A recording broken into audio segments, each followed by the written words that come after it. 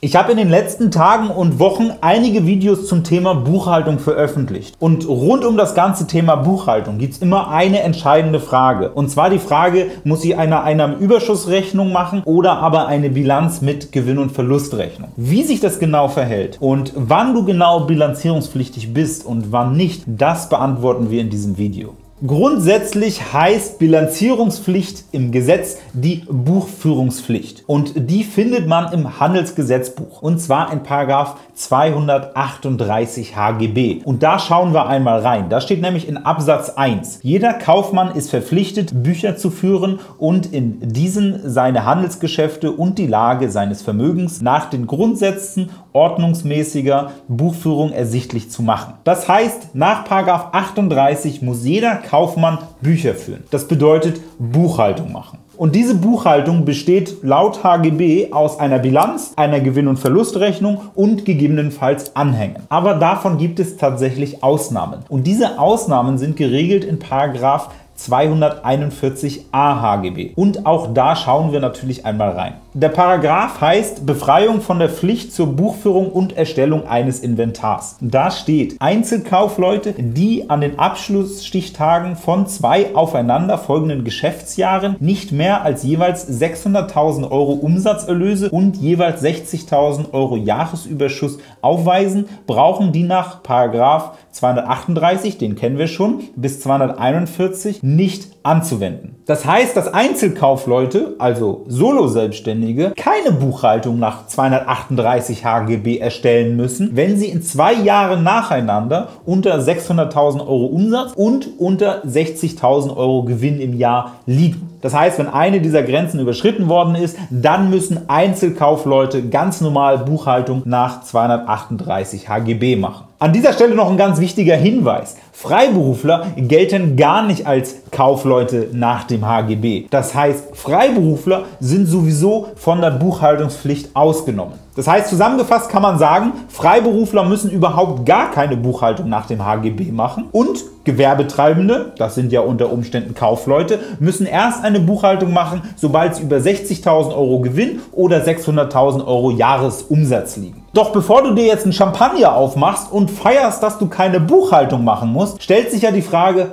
was machen wir denn die ganze Zeit, wenn wir gar nicht buchhaltungspflichtig sind? Und die Antwort, was du genau machst, die steht im Einkommensteuergesetz. Und zwar in Paragraph 4 Absatz 3 Einkommensteuergesetz. Und natürlich schauen wir auch da einmal rein. Steuerpflichtige, die nicht aufgrund gesetzlicher Vorschriften verpflichtet sind, Bücher zu führen und regelmäßig Abschlüsse zu machen, genau das sind wir ja als Freiberufler oder als kleine Gewerbetreibende, und die auch keine Bücher führen und keine Abschlüsse machen, also die es auch tatsächlich nicht tun, können als Gewinn den Überschuss der Betriebseinnahmen über die Betriebsausgaben ansetzen. Das Ganze klingt schon ziemlich verdächtig. Gewinn, Überschuss der Betriebseinnahmen über Betriebsausgaben. Der ein oder andere denkt sich jetzt, ah, das klingt wie eine Einnahmenüberschussrechnung. Da geht es ja um den Überschuss der Betriebseinnahmen über die Betriebsausgaben. Und genau das ist da geregelt. Paragraph 4 Absatz 3 regelt die Einnahmenüberschussrechnung. Und wenn man es ganz genau nimmt, ist eine Einnahmenüberschussrechnung gar keine Buchhaltung, weil die Buchhaltung ist im Handelsgesetz geregelt und hier im Einkommensteuergesetz steht, wenn ich keine Buchhaltung machen muss, ja, dann muss ich halt den Überschuss der Betriebseinnahmen über die Betriebsausgaben ausrechnen. Das sorgt in der Praxis dann halt dafür, dass ich doch irgendwie Buchhaltung machen muss. Aber halt nicht die aufwendige Buchhaltung mit Bilanz, Gewinn- und Verlustrechnung und Anhängen, sondern ich muss wenn ich nach 238 HGB nicht verpflichtet bin, Buchhaltung zu machen, einfach nur eine Anlage EUR erstellen. Das Ganze waren jetzt ehrlicherweise ziemlich viele Paragraphen und vielleicht auch ein bisschen verwirrt. Ich finde es aber trotzdem wichtig, dass man einmal die Grundlagen versteht. Denn in diesem Zusammenhang entstehen wahnsinnig viele Mythen, Irrtümer und ja, Verwirrung und irgendwie fühlt man sich ganz schnell verloren. Es gibt nämlich so ein paar Dinge, die ich damit einfach mal klären wollte. Und zwar erstens, liest man manchmal, dass man als Freiberufler keine Buchhaltung machen muss. Ja, es stimmt in gewisser Weise schon, weil die Buchhaltung, also die Buchhaltungspflicht, das ist tatsächlich die Bilanzierung. Und als Freiberufler oder kleiner Gewerbetreibender musst du tatsächlich keine Buchhaltung machen. Aber du musst halt eine Einnahmenüberschussrechnung erstellen, was in der Praxis auch Buchhaltung genannt wird. Und ganz häufig gibt es auch Verwirrung rund um den Begriff Kleinunternehmer. Kleine Unternehmer, also kleine Gewerbetreibende unter 60.000 Euro Gewinn und 600.000 Euro Umsatz, die müssen nicht bilanzieren, sondern die können auch eine Einnahmenüberschussrechnung erstellen. Die Kleinunternehmerregelung hat damit aber tatsächlich gar nichts zu tun. Da gibt es noch ganz andere Grenzen, und zwar 22.000 Euro Umsatz im Vorjahr und 50.000 Euro im laufenden Jahr. Da geht es aber nicht um die Buchhaltung, also die Art der Buchhaltung. Da geht es nur um die Umsatzsteuer. Deswegen verwechsel bitte nicht die Kleinunternehmerregelung und kleine Unternehmen. Das sind zwei komplett unterschiedliche Paar Schuhe. Und es gibt im Internet wahrscheinlich keine zwei Begriffe, die häufiger durcheinander geworfen werden als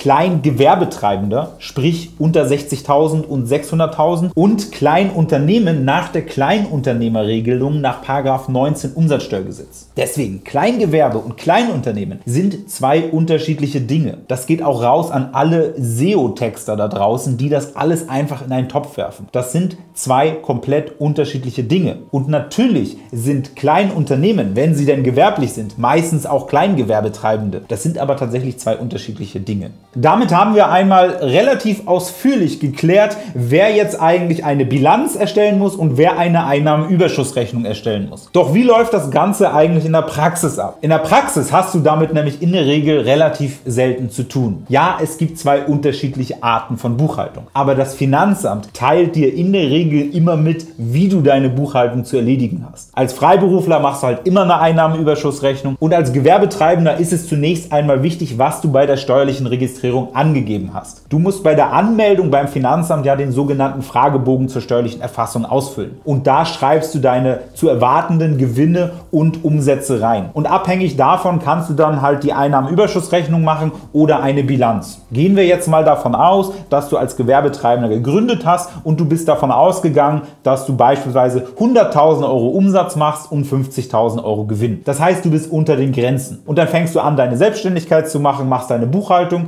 als Einnahmenüberschussrechnung und dann bist du irgendwann über den Grenzen. Meistens ist die Gewinngrenze, also die 60.000 Euro, die Grenze, die man als erstes überschreitet. Und du machst ganz normal deine Buchhaltung als Einnahmenüberschussrechnung, gibst deine Steuererklärungen ab und so weiter. Und irgendwann sieht das Finanzamt, ah, der Kollege, der ist jetzt ja über der Grenze. Und dann bekommst du irgendwann einen Brief vom Finanzamt und in diesem Brief steht dann drin, dass du ab jetzt bitte eine Bilanz erstellen sollst. Das heißt, du musst diese Grenzen ehrlicherweise auch selbst gar nicht im Blick haben. Das Finanzamt teilt es dir einfach mit, sobald du bilanzierungspflichtig wirst. Auch hier gibt es manchmal unterschiedliche Bezeichnungen. Das heißt, in dem Brief vom Finanzamt steht unter Umständen gar nicht Bilanzierung. Da steht vielleicht doppelte Buchhaltung. Doppelte Buchhaltung und Bilanzierung ist das gleiche oder Betriebsvermögensvergleich. Das ist das Wort, was das Finanzamt ehrlicherweise am liebsten benutzt. Das heißt, wenn du in einem Brief vom Finanzamt die Wörter doppelte Buchhaltung, Gewinn- und Verlustrechnung, Bilanz oder Betriebsvermögensvergleich lesen kannst, dann weißt du, jetzt ist es soweit und ab jetzt musst du eine Bilanz erstellen. Zum Abschluss dieses Videos noch ein kleiner Hinweis auf andere Rechtsformen. Das heißt, wenn du eine Personengesellschaft oder eine Kapitalgesellschaft hast, fragst du dich jetzt vielleicht auch, wie du deine Buchhaltung erledigen solltest. Und diese Frage ist in den meisten Fällen ziemlich schnell beantwortet. Als Kapitalgesellschaft, also als UG, GmbH oder AG und als Personengesellschaft, also OHG oder KG, musst du immer eine Bilanz erstellen. Das heißt, da musst du immer die aufwendige Buchhaltung machen. Nur als GBR, also Gesellschaft bürgerlichen Rechts, hast du tatsächlich unter Umständen die Wahl und hast unter Umständen die Möglichkeit, auch eine Einnahmeüberschussrechnung zu erstellen.